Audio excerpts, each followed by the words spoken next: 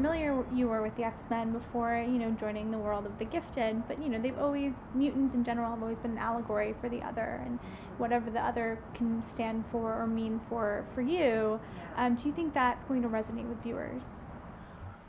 I mean, to me, it seems like it's impossible to, to do an X-Men show without it being part of it. It is so much part what X-Men are. I mean, reading the news every day, you can sort of see it, the scenes are there, and you know, even if we're not talking, saying the same words that are that are in the newspaper, where the same ideas are are under every scene that's played in the show.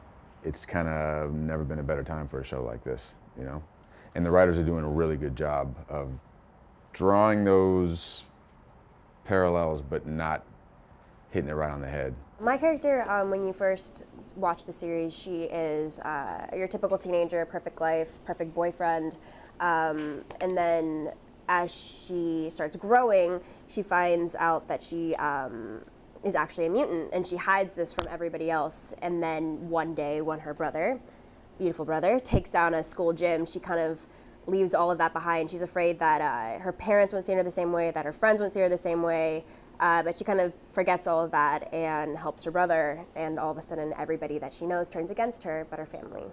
So I think that that's definitely a good story, knowing that no matter what happens, blood is thicker than water, and family will always be there for you. And I think that that's one of the really cool storylines about our show.